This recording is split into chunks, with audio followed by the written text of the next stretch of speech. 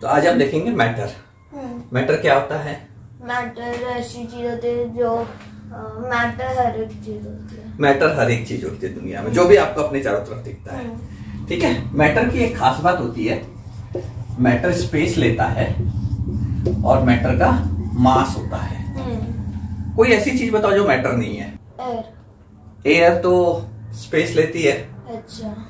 और उसका मास भी होता है। वाटर वाटर का भी सेम है. स्पेस लेती है मास होता है. हैप्पीनेस हाँ. मैटर है? हाँ. नहीं. नहीं है. एंगर मैटर है? नहीं. नहीं है. बट हम फिजिक्स के पर्सपेक्टिव से देखें तो जो भी चीज़ स्पेस और मास लेगी वो मैटर होती है. हाँ. ठीक है? अब फिजिक्स में ना एक बहुत बड़ा कंफ्यूजन होता है जनरली आपको पता है मास और वेट के बीच में क्या डिफरेंस है? आपने कई बार सुना होगा ना? Weight weight. और मास।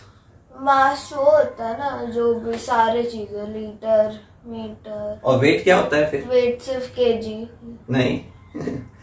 मास लीटर नहीं होता है। लीटर तो वॉल्यूम होता है। तो मास सिर्फ़ केजी होता है वेट अलग। क्या होता है वेट? Wait litre. नहीं इसमें कभी कंफ्यूज मत होना। ये बहुत कंफ्यूजन होता है। हम्म, ठीक है? मास मैं आपको एक छोटी सी चीज़ बताऊँगा अभी और हम बाद में इस पर डिस्कस करेंगे।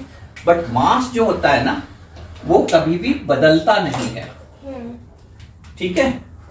मास नेवर चेंजेस हम्म, ठीक है? एंड वेट चेंजेस किस बेसिस पे चेंज होता है वेट खाने पे। नहीं।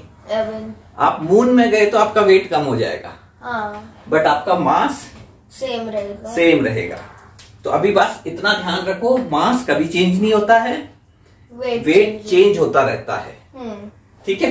हम बाद में जब फोर्स पढ़ेंगे तब हम वेट देखेंगे। हम्म, तो हम लोग जो हमेशा बोलते हैं ना वेट वेट वेट एक्चुअली उसका मतलब होता है मास मास हम्म, ठीक है? जब आपको कोई बोलता है कि मैं अपना वेट लॉस कर रहा हूँ तो वो वेट लॉस नहीं कर रहा होता है। वो अपना मास लॉस करता है। पर मास तो कभी चेंज ही नहीं होता। मतलब मास मैं ऐसे बोल रहा हूँ कि जैसे आपका मास अभी जो है हम्म, जब अगर आप सपोज़ डाइटिंग करोगे हम्म, तो आपका मास कम होगा। हम्म, लेकिन इस वक्त जो आपका मास है वो आप अर्थ में रहो या मून में रहो सेम रहेगा। अच्छा। लेकिन आपका वेट चेंज हो जाएगा। ठीक हाँ, ठीक है? तो जो चीज़ हम वेट बोलते हैं वो एक्चुअली मास होती है। तो मास क्या होता है? वो होता है किसी भी चीज़ के अंदर जो मैटर है। हम्म, ठीक है? तो इस चीज़ का हमेशा ध्यान रखना। हाँ।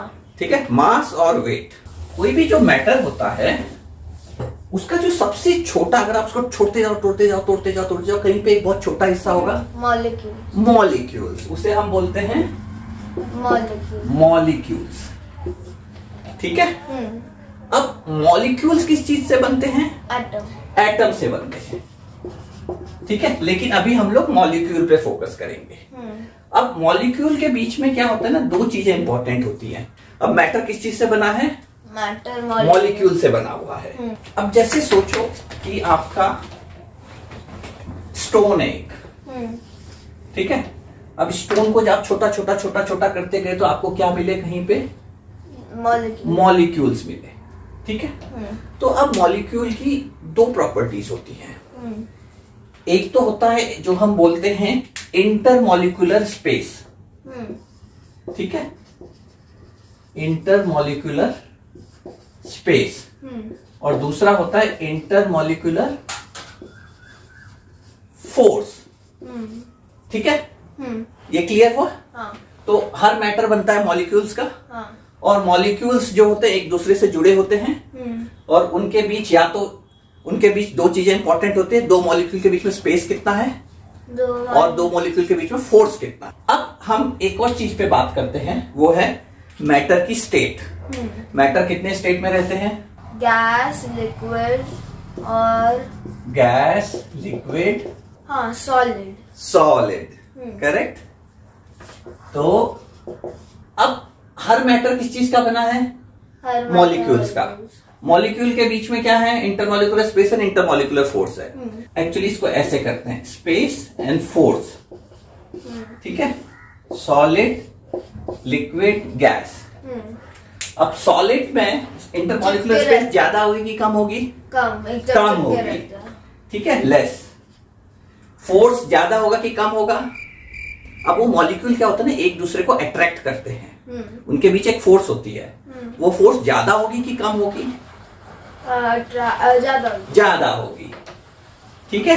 स्पेस कम होगी फोर्स ज़्यादा होगी। हम्म। और गैस में? गैस में उल्टा होगा। उल्टा होगा। स्पेस ज़्यादा होगी फोर्स कम होगी। और ये जो होगा दोनों दोनों के बीच में होगा हाँ। करीब मिडिल में होगा। ठीक है?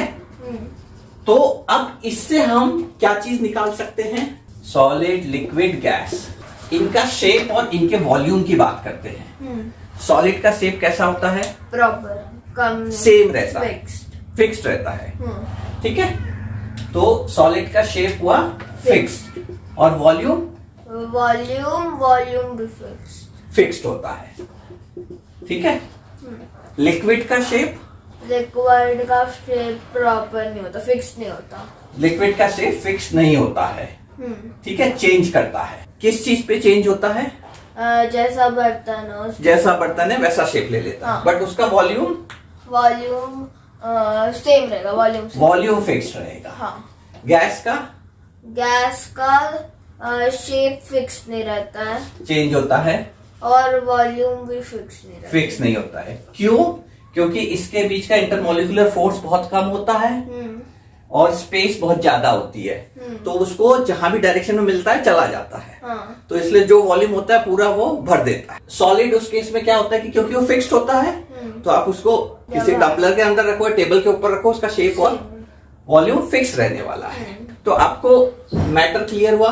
हम्म, स्पेस एंड मास लेते हैं क्लियर हुआ। हम्म, मास और वेट के बीच डिफरेंस होता है क्लियर हुआ। हम्म, मैटर मॉलिक्यूल्स के बनते हैं। हम्म, मॉलिक्यूल्स के दो चीज़ें होती है important intermolecular force and intermolecular space matter की तीन स्टेट होती हैं सॉलिड लिक्विड गैस और उनके शेप और वॉल्यूम उस हिसाब से डिसाइड होते हैं.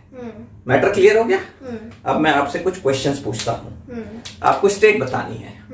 वाटर की स्टेट लिक्विड लिक्विड स्टोन की स्टेट सॉलिड कार्बन डाइऑक्साइड की? गैस पक्का? आपको पता है सीओ टू जो है सॉलिड फॉर्म में भी आती है? कैसे हाँ। जो चीज़ें जब ठंडा करते हैं ना हम सीओ टू का तो हाँ। सीओ टू के पैक्स आते हैं। अच्छा। तो खाली नाम से आपको पता नहीं चलेगा। अगर मैं बोलूँ कि वाटर तो हम हमेशा सोचते हैं लिक्विड वाटर हाँ। बट एक्चुअली देखा जाए तो वो आइस भी है। हाँ। ठीक है? और वो स्टीम भी हो सकती है। हाँ। तो स्टेट जो है वो चेंज हो चेंज हो। सकती है। ठीक है? आइस की स्टेट सॉलिड सॉलिड कर्ड की स्टेट लिक्विड पक्का? जब ठंडा करेंगे तब सॉलिड तब सॉलिड हाँ हाँ। तो स्टेट जो है ना वो स्टेट जो है आपका इन दो प्रॉपर्टी से अगर उसका शेप और वॉल्यूम फिक्स्ड है तो वो सॉलिड स्टेट में है। And it can go into other state ठीक है?